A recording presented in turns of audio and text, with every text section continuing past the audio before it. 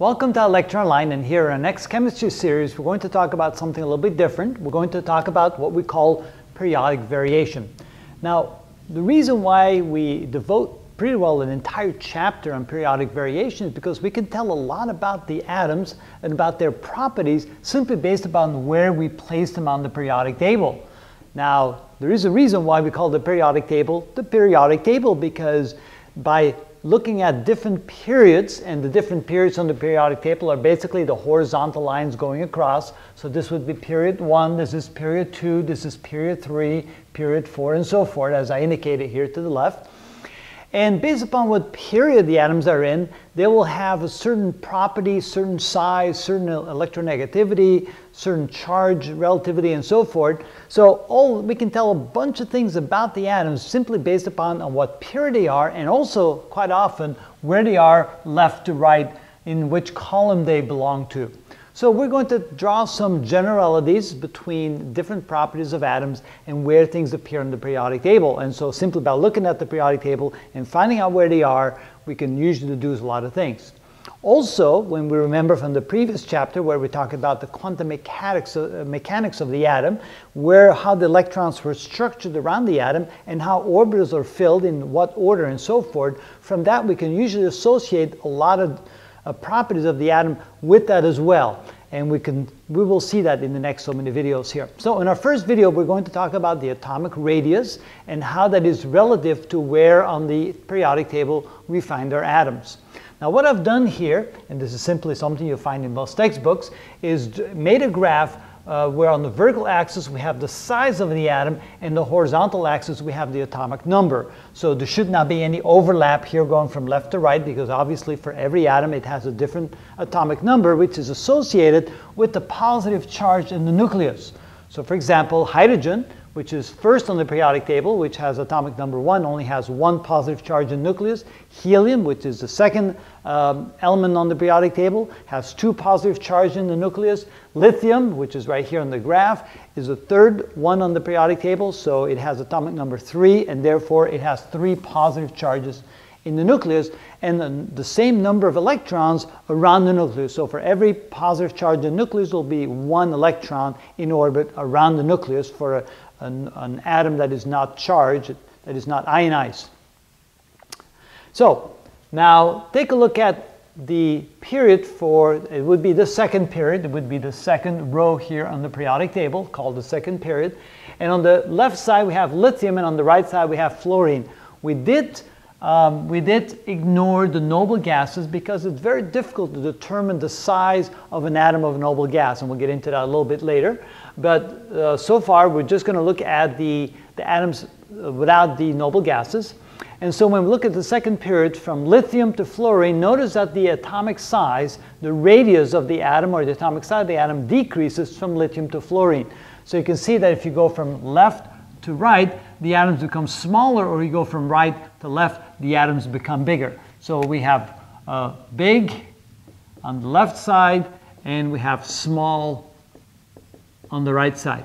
Then also notice as we go from the second period to the third period, which is the, the third row here in the periodic table, we find that the atoms are larger than they are in the second period. So by dropping down to the next period and the next period, the atoms appear to be getting larger. We see the general trend is still there as you go to the right. The atoms uh, become smaller from sodium to chlorine. Notice there's a big decrease in the size of the atoms. But starting out at the left side, you know that sodium is bigger than lithium, potassium is bigger than sodium, rubidium is bigger than potassium, and cesium would be bigger than rubidium, and so forth. So by going down the periodic table, we find that the atoms are bigger, and then when we go from left to right, we generally find that the atoms become smaller. Now the question always would be, why is that? Well, one, for one thing, as you go down, further and further down, you're going to have more and more electrons in orbits around the nucleus in, I should call them orbitals, more than orbits, of course. And uh, so, of course, they, the electrons, they repel each other, so they need to take up, take up more space. So there's a, a counterbalance between the forces of the, the force between the negative electrons and the positive nucleus, the nucleus tries to draw the negative electrons in closer because opposite charges attract, of course.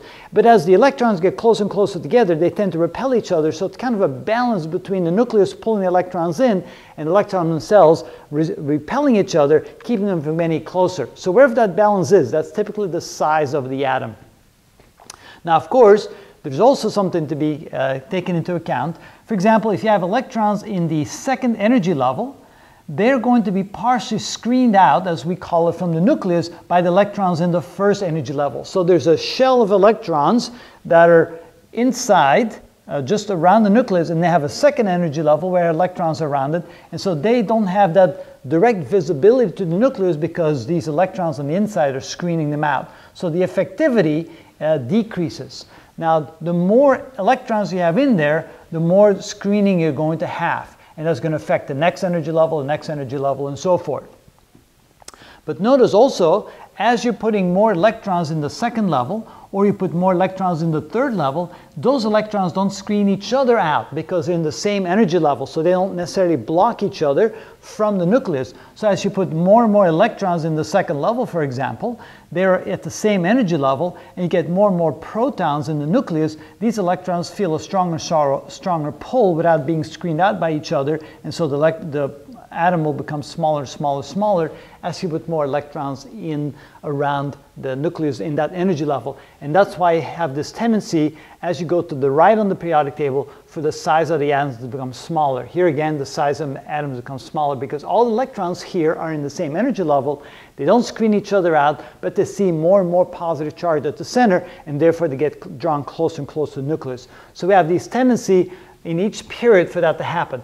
Now, once in a while, you have something like this where zinc is a little bit bigger than the atoms to the left and to the right on the periodic table. And here we have indium, which is a little bit bigger than the atoms to the left and the right of the periodic table.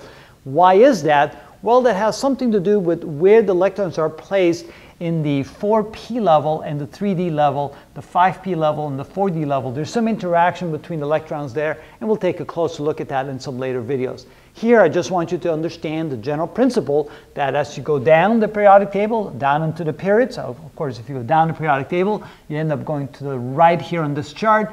The atoms get bigger and bigger and bigger. And as you go from left to right, which is from left to right on the periodic table like this, you can see that the atoms get smaller, smaller, smaller. As you go to the right, they get smaller. Go to the left, to get bigger. Go down, to get larger. Go up, they get smaller. So the general tendency in the periodicity of the periodic table relative to size is precisely that.